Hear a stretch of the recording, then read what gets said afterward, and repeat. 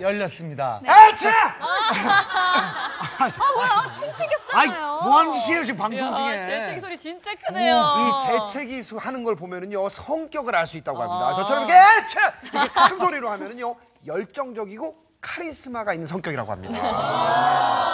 그럼 혹시 저처럼 아주 작고 예쁘게 사람들은 어떤 사람들이에요? 그런 분들은 마음이 고요하고 인간관계를 중요하게 생각하는 분들입니다. 어, 저는 재채기가 나오려고 하면 민망해서 흠 하고 먹게 돼요.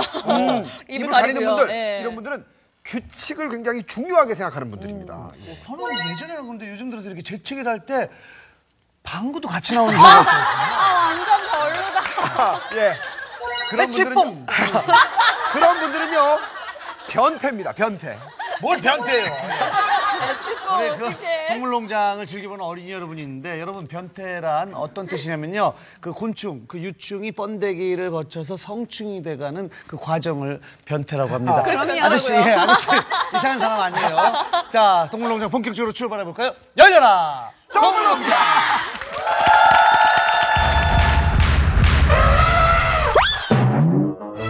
세상 그 어떤 꽃보다 아름다운 그대는 꽃보다 견공. 귀족견이라 불릴 만큼 매력적인 비주얼. 곱슬곱슬 부드러운 털하며 S라인 부럽지 않은 쭉 빠진 몸매. 그는 대체 누구인가? 얘는 베들링턴 테리어고요. 이름은 몰라예요. 부드러운 견공의 품격 베들링턴 테리어 몰라 소파 위에서 조용히 사색을 즐기는 품위 있는 일상 그런데 우아하게 살고 있던 몰라의 일상을 뒤흔든 여인이 나타났으니 평온했던 일상은 이제 끝났다 그녀로 인해 울고 웃는 몰라의 복잡한 견생사 어디 한번 들어보실래요? 몰라의 속사정을 낱낱이 파헤치기 위해 동물농장에 출동했다. 예. 저희 우리 강아지들이거든요. 제작진 방문에 마중까지 나온 두 녀석. 카메라가 얼마나 반가우면 체면 뒤로 하고 이렇게 애교를 부릴까? 아 몰라 몰라. 왜 이제 왔어. 나 얼마나 기다렸는데. 이런 몰라의 마음을 복잡하게 만든 그 주인공 폭스테리어 아라. 내가 말했댔다고? 뭐 겉으로 보기에는 그저 평화로워 보이는데. 아 진짜 모르는 소리 하고 있네 몰라요 가자. 일로 와. 빨리 와. 자세한 내막을 파헤치기 앞서 몰라 잠시 자리를 뜨는데 혼자 남은 아라 닫혀버린 문 앞에서 아유 어쩔 줄을 모른다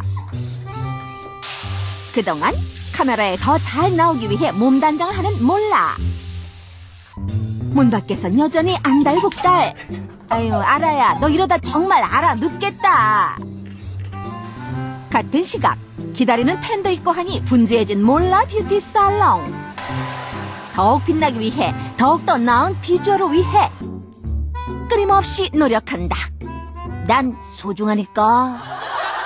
긴 기다림 끝에 드디어 모습을 드러낸 몰라 앞으로 부리나게 달려온 아라.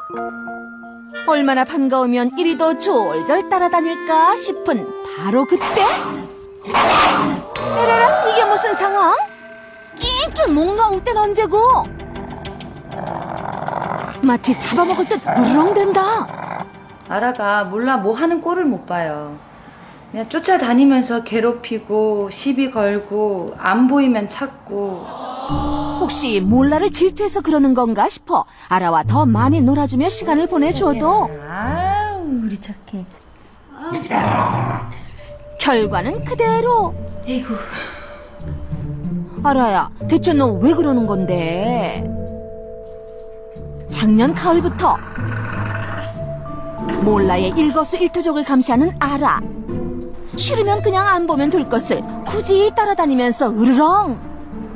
스토커도 이런 스토커가 따로 없다. 아이고 내 팔자야. 식사 시간이라도 예외는 없다. 사료에 채 입을 대기도 전에 아라의 레이더망에